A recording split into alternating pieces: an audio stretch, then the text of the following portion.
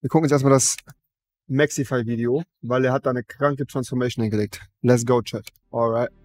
Es gab eine Zeit in meinem Leben, in der ich sehr unzufrieden mit mir und meinem Körper war. Die Zeit, in der Mobbing in der Schule zum Alltag gehörte und Beleidigungen zu meinem Körper normal waren. Ich hatte nie ein Ziel im Leben gehabt, Mobbing in der Schule zum Alltag gehörte Och, und. Beleidigungen zu meinem Körper normal waren. Er war ein bisschen fett, glaube ich, früher, hat er gesagt, ne? Ich hatte nie ein Ziel im Leben gehabt und war mit allem unzufrieden, was sich durch mein Essverhalten widerspiegelte.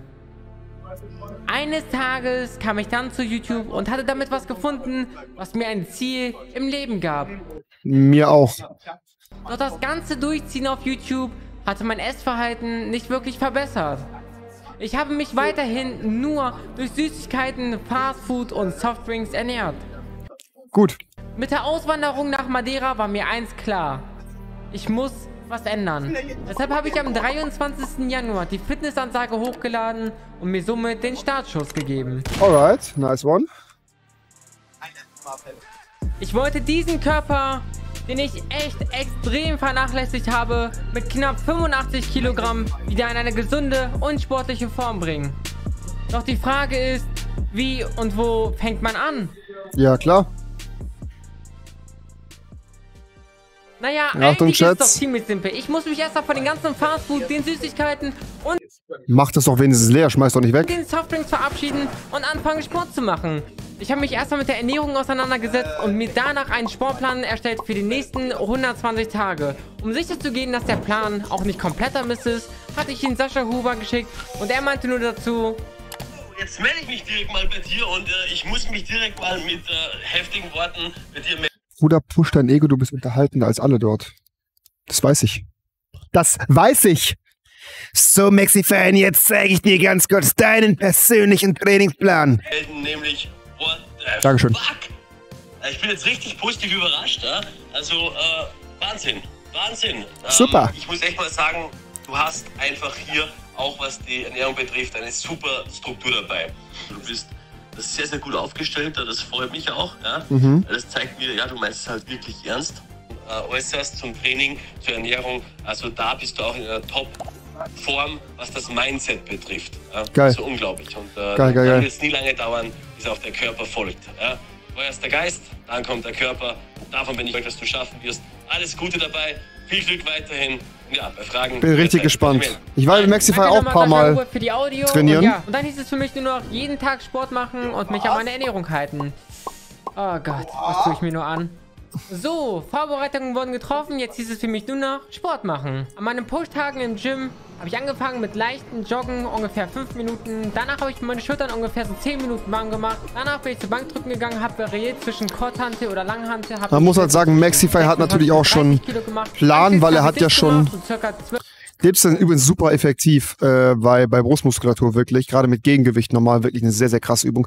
Maxify hat natürlich halt auch hier an der Stelle, muss man schon sagen, äh, bisschen Erfahrung, was Gym und so angeht, ne? 10, 8, so in diesem Bereich immer. Anschließend kam Kniebeugen. Da habe ich auch so 12. Was 10 bis geht, 8 Anonym? Was geht, was geht, was geht? Danke für die Drecks. 70 Kilogramm. Es hat immer so ein bisschen variiert. Danach kam Schulterdrücken, da habe ich 5 Kilo pro Seite gemacht, das waren insgesamt 30 Kilo, da habe ich dann auch wieder 12, 10, 8. Das habe ich eigentlich fast immer gemacht, immer so im Hypertrophie-Bereich. Und anschließend im Supersatz habe ich Seitenheben gemacht mit äh, Schulterdrücken Ja, zusammen. den Plan habe ich auch mit ihm zusammen gemacht, wirklich, wirklich. Hat gut reingeballert. Ja, für die nochmal Mann. Trizepsübung, circa 20 Kilogramm bei dem push. Nochmal über den Kopf ganz kurz gemacht, so ein Dropsatz. Und ja. Der nächste Gym-Tag war der Pull Day, da habe ich Klimmzüge gemacht, 12, 10, 8 wiederholt.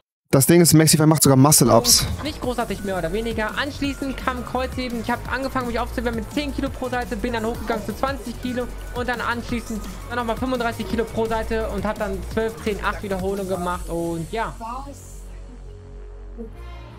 Kreuzheben habe ich dann 90 Kilo schon krass. Gemacht. Das war dann so ungefähr, ich würde sagen, 60 Kilogramm, also 50 Auch schon, habe ich auch schon mal gemacht, auch 12, sehr 10, stark, aber Anschließend 60 Kilo. habe ich Eine Rückenübung gemacht. Ich habe da immer ein bisschen variiert, normalerweise auch Pulvern so oder so, aber keine Ahnung, wie die Übung gerade heißt, die ihr seht. Anschließend kam dann nochmal Schon kranke Gewichte, ne? mit Muss man sagen. 6 Kilogramm, man braucht nicht krass viel Gewicht und ja. Zum Schluss kam SZ-Curls, circa 20 Kilo, also so, ich glaube 10 Kilo pro Seite. Und noch Ganz geil für die Arme, ne? Ja. Bizeps mit Kurzhanteln gemacht. Zwischen den Gym-Tagen hieß es dann für mich laufen. Laufen, laufen, laufen. Ich bin in meinem Leben noch nie so viel gelaufen. Es war insane. Ich dachte, Stimmt, Maxi ist auch mal mit äh, Antonia und so joggen gewesen, ne? ich werde zum Marathonläufer. Aber nur halt auf Wish bestellt. Meine Strecke, die ich immer gelaufen bin, war halt immer von hier vom Outdoor-Gym bis nach da hinten zum Steg und wieder zurück. Ich bin jeden zweiten Tag gelaufen. Das war absolut ein Segen. Ich bin im Schnitt immer sechs Kilometer gelaufen, so wie man es da gerade sehen Geil, kann. nice. Äh, und am Ende, kurz bevor die Challenge zu Ende war, bin ich Ist aber auch gut, so eine halbe Stunde Joggen am Tag tut wirklich, glaube ich, echt gut, Mann. jeweils zwölf Kilometer gelaufen. Ist krass guter Plan. Hat keinen Spaß Hätte ich auch Bock drauf, muss ich ehrlich sagen. gemacht, aber äh, am Ende hat es mir gut geholfen. Ja. Wie man sehen kann. Gute, gute Geschwindigkeit auf jeden Fall hier alles. Es sieht echt ordentlich tatsächlich aus, ja. War nicht gerade einfach.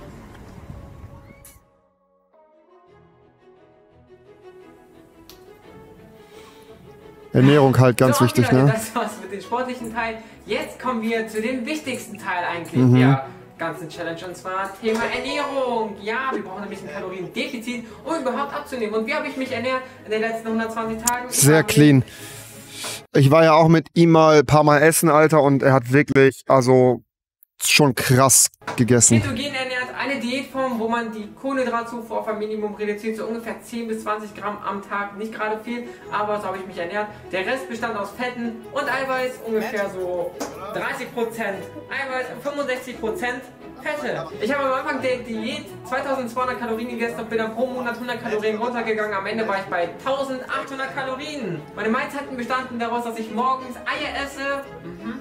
Geil. Mittags habe ich mir dann Brokkoli mit Lachs gemacht oder auch manchmal mit Chicken oder mit Steak oder Blumenkohl. Ich habe ein bisschen variiert.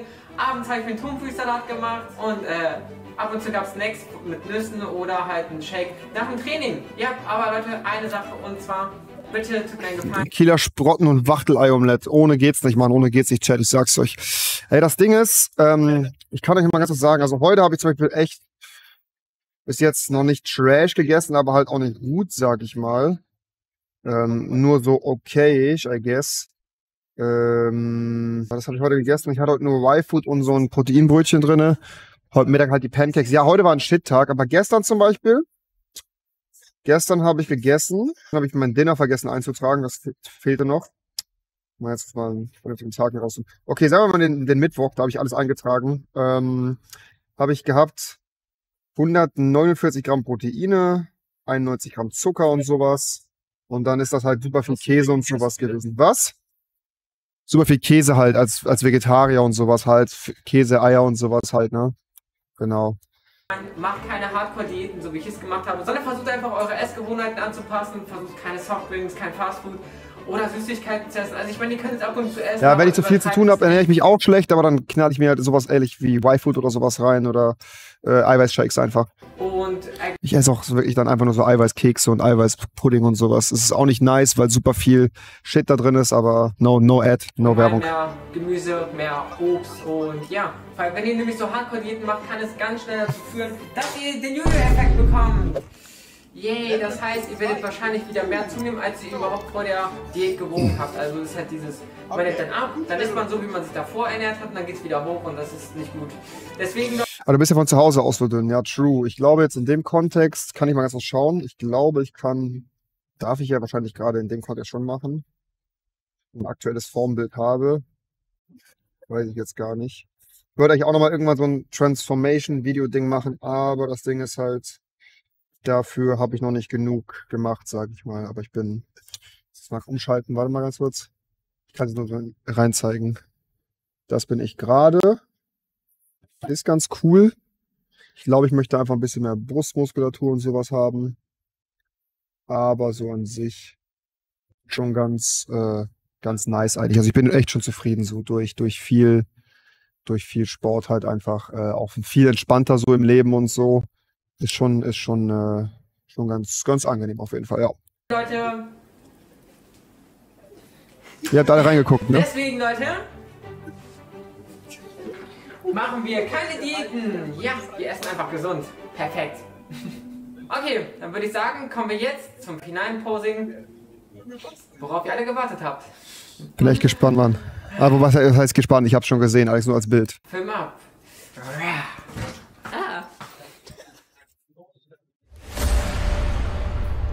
Gym. Das Gym.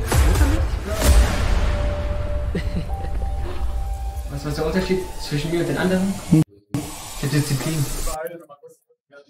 Ja, ich habe auch durchgezogen, Bro. Neben Kai Flaum hast du alles gesehen wie ein Lauch. Kai Flaum ist auch echt die Maschine tatsächlich. Also, der ist wirklich sehr stabil. Ich wiege gerade 75 Kilo. Ich will einfach noch ein bisschen was zunehmen. Ah, das Kai Flaum-Video können wir jetzt gleich auch noch reinziehen. Ah, schon. Damn. Damn.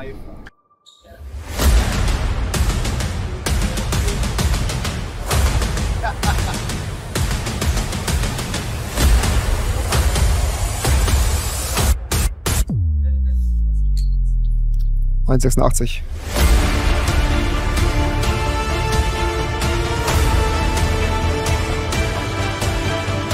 Also allein, dass er so Muscle-Ups und sowas macht, ist halt insane. Das ist schon sehr, sehr clean. Ihr seht auch, es ist ganz geringer Körperfettanteil. Aber Maxify hat das gleiche Problem wie ich. Der hat auch keine so krass massive Brust, aber sehr, sehr ästhetisch geformt alles. Krass. Maxify hat einen geisteskranken Rücken. Krasse Schultern. Krasse Arme. War schon wirklich insane. Das ist schon wirklich sehr insane.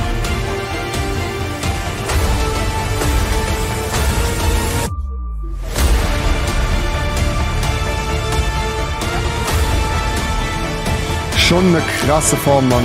Schon eine sehr krasse Form. Also schon allein hier Rücken, Latt und sowas kommt hier so krass aus. Unterrücken auch trainiert, hier die Schultermuskulatur, Nackenbereich, das ist schon sehr, sehr insane.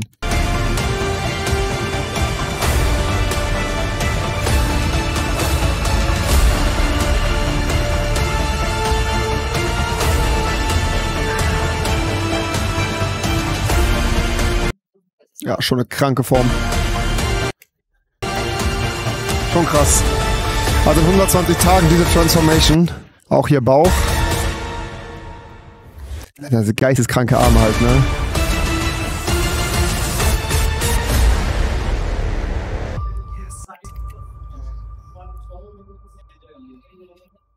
Crazy. Crazy, crazy, crazy. Das war's mit dem finalen Posing. Wie findet ihr die Form von? Krass, krass, gut krass, krass. gut? Schreibt doch bitte in die Kommentare. Am Anfang der Challenge Sehr, sehr stark, Mann. Stolz auf dich, Bro. 84,5 Kilo Well done. Well fucking done, wirklich. Sehr, sehr gut.